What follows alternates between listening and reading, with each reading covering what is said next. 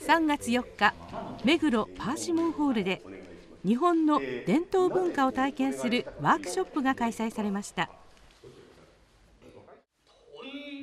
区内の小学生とその保護者を対象に狂言と日本舞踊に親しんでもらおうと目黒区が主催したイベントです。この日は午前と午後に分かれておよそ40組が参加しました。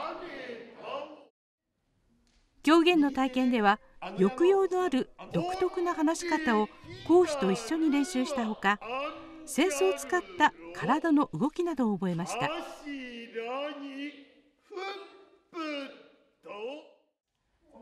日本舞踊の講師からは背筋を伸ばした良い姿勢で踊ることや扇子を使った表現方法を教わり最後は音楽に合わせて桜の舞を踊りました。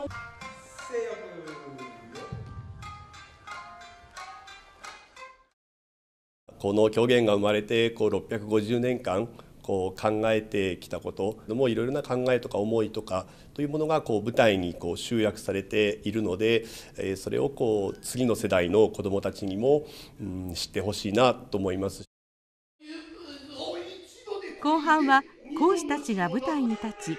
3カ所の間近で迫力のあるセリフの掛け合いや流れるような日本舞踊の舞が披露されました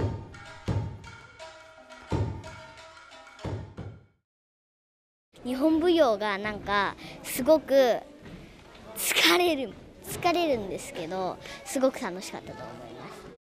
すごすごくてまたあのどっかで見見たいなって思いました